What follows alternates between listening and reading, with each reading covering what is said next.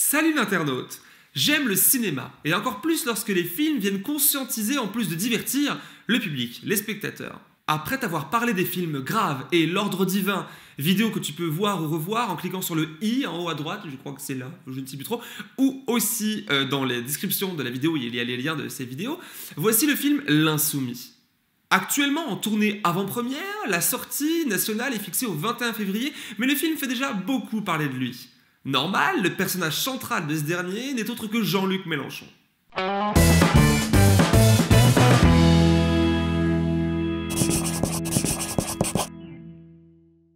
J'ai eu la chance et l'occasion de voir le film en avant-première mardi soir dernier à Toranglière en présence de Gilles Perret, son réalisateur. C'est avec son film La Sociale que j'ai rencontré Gilles pour la première fois l'an passé. Pour l'insoumis, j'ai tenu à lui poser quelques questions, mais avant de te montrer l'échange qu'on a eu dans ce cadre, je vais te livrer mes impressions sur le film. Déjà, te rappeler le contexte, le cadre. Gilles Perret rencontre Jean-Luc Mélenchon pour la première fois il y a quelques années, ce dernier ayant apprécié son travail et ses films.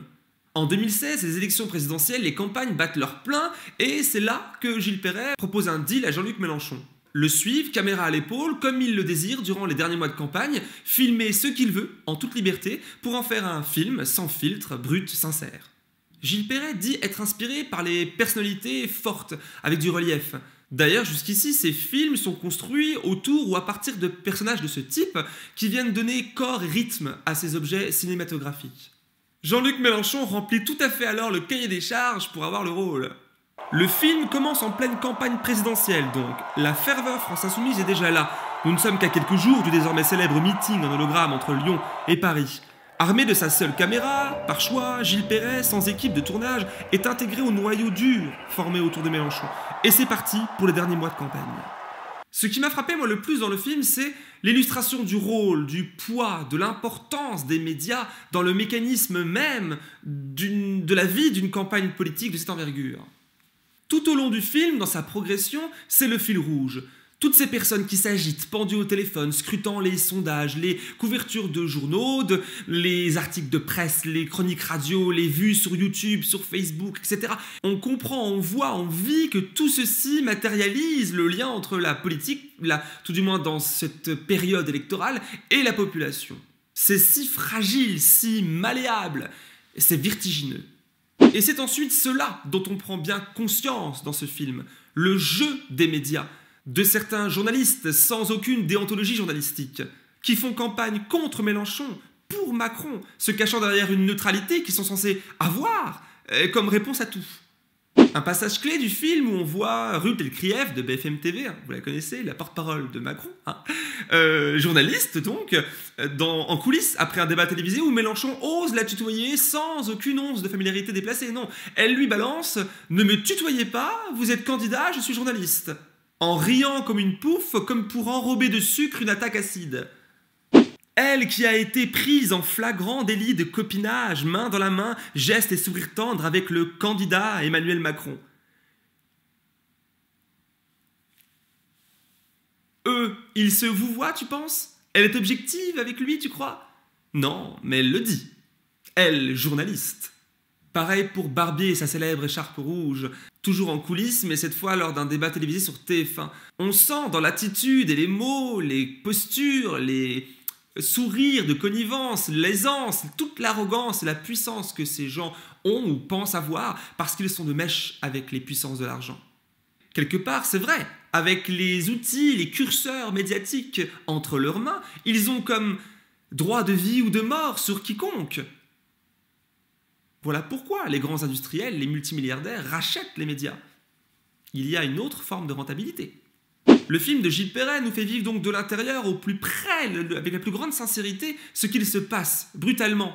Et ça nous saute au visage. On voit la différence clivante, euh, nette, brute entre le camp Jean-Luc Mélenchon, la gauche en général, et cette bourgeoisie, la droite. D'un côté, la différence, la pluralité, la simplicité, le relief, quelque chose de, sincère, de vrai, euh, qui nous ressemble, la plupart des gens qui, composent la France. Et de l'autre, la bourgeoisie lisse un peu tout le monde, les cravates et les tailleurs, les postures, les sourires qui sont faux, les, les, manigances, toutes les personnes que tu vois là, absolument pas ensemble, prêtes à se, à se bouffer pour grimper. Enfin, il y a quelque chose de visible, de palpable en fait à ce niveau-là. Comme le rappelle Jean-Luc Mélenchon dans le film, tout ceci illustre parfaitement une lutte des classes, tout simplement. Le hic dans l'affaire, et qui vient du coup détruire la démocratie, et on le voit très bien dans le film, c'est que la haute bourgeoisie, au fil du temps, est venue prendre le contrôle, en plus de la politique dominante, des forces de contre-pouvoir que sont censés être les journalistes, les éditorialistes, les grands médias en général, qui du coup ben, ma foi, sans bourgeoises comme leur maître, et finalement appartiennent à la fin à la même classe et défendent donc les mêmes intérêts, ce qui fait que nombreux de journalistes euh, qui ont pignon sur rue aujourd'hui ne peuvent pas faire leur travail de journaliste. On assiste alors à un grand bal, un grand jeu d'hypocrisie grasse, difficilement dissimulable, mais qui se maintient et semble encore fonctionner. Sur cette question, le film ne nous apprend rien, il n'y a pas de surprise, mais là où il excelle, c'est qu'il l'illustre avec brio et viendra certainement rendre conscientes les personnes dont l'esprit est encore flou sur le sujet. Le film, dans sa forme, n'a pas d'effet clinquant, pas de musique, pas de filtre, c'est beau, c'est brut, ça envoie. Dans son rythme, son montage, la progression est nette, on sent les choses enfler, la pression monter, les foules toujours plus denses et larges soutenir le candidat de la France insoumise. C'est énorme et on le revit. C'est alors l'Europe et puis le monde qui regarde la France où il semble se passer quelque chose d'inédit, d'historique. Cette lueur d'espoir que les choses enfin basculent et prennent un tout autre chemin, celui du bon sens, de l'intérêt général. Tout ceci semble alors à portée de main.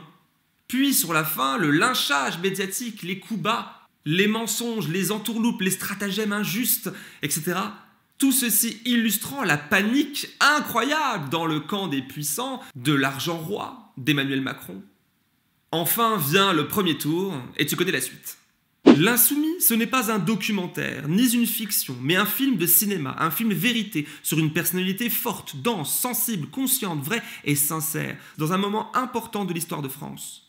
Euh, après euh, tes films précédents par rapport à la sociale, mais aussi les films précédents qui étaient très euh, militants quand même pour avoir une cause très citoyenne de conscientisation, mhm. est-ce que tu es d'accord avec cette définition de tes films?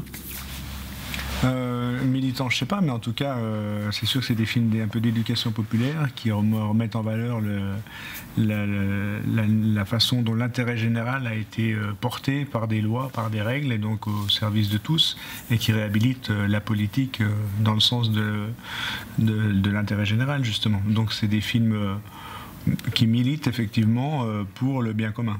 Dans la sociale, on voit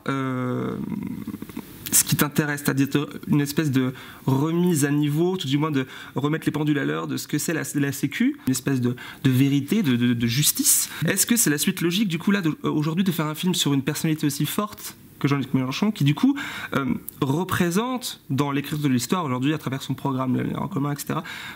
Est-ce que c'est une suite logique? De ton travail bah, Je crois que la suite logique entre mes films précédents et celui-là, c'est plutôt les valeurs qui sont portées, en tout cas mhm. par le programme que Jean-Luc Mélenchon portait, qui sont très portées sur les questions sociales, sur la question des partages des richesses et sur les questions environnementales. Et en fait, toute ma filmographie parle de ça. Donc après, euh, ça aurait pu être quelqu'un d'autre. Là, c'est Jean-Luc Mélenchon. Euh, bah, ce qui m'intéresse chez lui, euh, parce qu'avant le programme, c'est quand même la personne, dans le sens où c'est quelqu'un qui laisse pas indifférent. Et les gens le détestent, les gens l'adorent, mais en tout cas, il est plein de, plein de relief. Et moi, c'est ce qui m'intéresse. C'est une personne qui est, euh, pour le coup, c'est un personnage de cinéma. Et, euh, effectivement, ce personnage-là porte un programme qui euh, est un peu dans, quand même dans la droite ligne de ce que j'ai pu faire sur mes films précédents, avec des, avec des bémols, avec tout ce qu'on veut. Mais en tout cas, globalement, c'est plutôt cette tendance-là qui m'intéresse. Oui, j'ai noté aussi en fait que l'exercice cinématographique de ce film. Alors, tu disais tout à l'heure à une personne qui te posait une question qu'au tout début, tu faisais ce genre de choses. Alors, je connais pas ton travail du tout début, mhm. mais euh, c'est assez inédit dans le cinéma, c'est-à-dire d'être seul. Mhm. Euh, moi, j'apparente ça un peu à de l'artisanat. Est-ce que tu te considères comme un artisan du cinéma? Euh, oui, oui, oui. Bah déjà, euh, je crois que tous les cinéastes, si tant est que je sois cinéaste, ce sont des artisans dans le sens où on fait qu'une seule pièce, euh, qu'un seul film sur le, même thème. À chaque fois, on recommence. Moi, je, effectivement, je revendique ce statut d'artisan dans le sens où des fois dans le cinéma, il y en a qui se prennent un peu pour ceux qui sont pas, quoi. Mhm. C'est-à-dire de se placer au-dessus de la société, de, de, regarder ça un petit peu d'en haut avec du mépris. quand on regarde le travail qu'on fait, pour le coup, c'est de l'artisanat. On essaye de se débrouiller tant bien que mal pour trouver des ronds pour faire notre film. Mhm. Et puis là, effectivement, je tournais tout seul, bon, euh, parce que j'ai choisi de tourner tout seul. Et puis, et puis on fait tout, quoi. On fait les sites internet, on s'occupe de plein de choses. Donc euh, effectivement, oui, c'est beaucoup de... Ouais, le, terme d'artisan, ça me plaît bien. Là, on vient de voir le film ensemble. La réaction du public est très plurielle. Euh, j'ai remarqué que, enfin, c'est mon avis à moi, mais tu vas certainement me contredire, qu'il y a un amalgame qui était forcément attendu, c'est-à-dire que c'est un film de cinéma mhm. avec un personnage fort qui aurait pu être n'importe qui. D'ailleurs, dans tous tes films, tu disais tout à l'heure, tu rappelais qu'il y, a, des thèmes, les personnalités mhm. fortes, et, et c'est ce qui rythme le film. Et Mélenchon, c'est le cas dans ce film-là mais ce n'est pas un film. Euh, on disait qu'il manquait la France insoumise, les réseaux sociaux, j'ai noté euh, plein de choses comme ça, mais là, là, ça répondrait à un film de propagande alors que ce n'en est pas un. Est-ce que ça, ça te gêne le fait que les gens voient ce film comme ça et que tu dois le rétablir une mm. espèce de, vérité euh, qui t'appartient? Parce que c'est un c'est un film de cinéma. Est-ce que ça, le mm. fait de le rabâcher? Non, non, ça me gêne pas. Je comprends que le, personnage de Jean-Luc Mélenchon est tellement clivant et tellement mm-hmm. euh, fait réagir tout le monde. C'est normal qu'un film qui est fait euh, sur lui, eh bien, on en attende soit une agiographie, soit, soit au contraire de le, de le désinguer. Et donc tout le monde réagit à enfin pas tout le monde, mais une partie du public réagit euh, sur le bonhomme au lieu de réagir sur le film. moi, tout mon, métier, c'est de faire des films, c'est ah pas de faire de la propagande, c'est pas de faire des agiographies. Donc du coup, c'est vrai que c'est bien de recentrer le débat. S'il y en a qui ont des griefs contre Jean-Luc Mélenchon, il faut qu'ils lui écrivent, mais c'est pas moi qui, je suis pas son porte-parole. Et euh, et s'il y en a qui l'adorent, je vais bien transmettre les, euh, ces, mots d'amour. Mais voilà, moi, il faut que je reste à ma place. C'est-à-dire je fais des films, je suis réalisateur. Et puis que la seule ambition que j'avais sur ce film-là, c'est d'être le plus sincère avec ce qu'on a vécu. Et d'être le plus sincère possible avec ce qu'a été le personnage pendant cette période qui était une période intense et qui était une période forte pour lui, mais aussi pour la France. Et pour terminer, euh, avant de te remercier, quelle est la question euh, à laquelle tu aimerais répondre dans ce cadre de ce film? Euh, la question. Euh, ouais, que tu aimerais qu'on te pose. Est-ce que je l'aime bien? Mélenchon, tu veux dire Est-ce que tu l'aimes bien eh ben, Je te la pose. Est-ce que tu aimes bien Mélenchon Oui, moi je l'aime bien, mais moi j'aime bien, j'aime bien les personnages forts et euh, même des personnages avec qui je suis pas d'accord. Mon premier film, un de mes premiers films, c'était avec un, patron. Euh, on ne partage pas les mêmes idées, mais je l'aime bien quand même. Euh, Jean-Luc Mélenchon, des fois je suis pas d'accord avec lui, mais je, l'aime bien quand même. J'aime bien les gens qui assument ce qu'ils sont. Et, la sincérité. Oui, la sincérité. Je, moi, les, les, gens qui, sont devenus les responsables politiques, qui sont devenus des communicants mm. Et qui incarnent rien, qui sont pas dans, dans l'affect, ça m'intéresse pas. Donc en, l'occurrence, dans ce sens-là, je l'aime bien Jean-Luc Mélenchon parce qu'au moins, quand on est avec lui, on a euh, un vrai bonhomme en face, on n'a pas un communicant. Et, euh, Il fait pas semblant, quoi. Ah non, non, non c'est On le voit en même temps. C'est pas ce qui le caractérise le plus. Eh ben, merci à toi. Merci, pour, euh, pour, tout ça. Le film L'Insoumis de Gilles Perret n'apprendra rien de Jean-Luc Mélenchon aux personnes le connaissant déjà. Il n'y a pas de scoop, de dérapage, de choses croustillantes, d'inédits rien de tout ça, car en fait, Jean-Luc Mélenchon ne trompe pas. On comprend qu'il donne tout, cache déjà, et sans détour. C'est là que ce film excelle c'est qu'il illustre, confirme, livre tout ça nettement, en toute simplicité. Et il n'y a rien de plus complexe que la simplicité en matière d'art, ici de cinéma.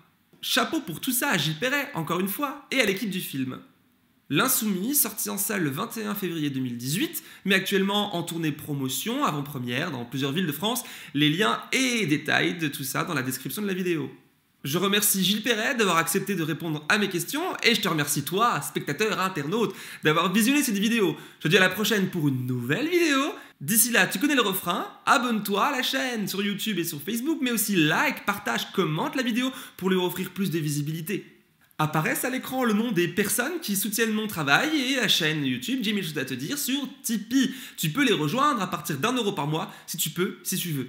Je vous embrasse tous et à la prochaine parce que j'ai mille choses à te dire encore. Ciao, bisous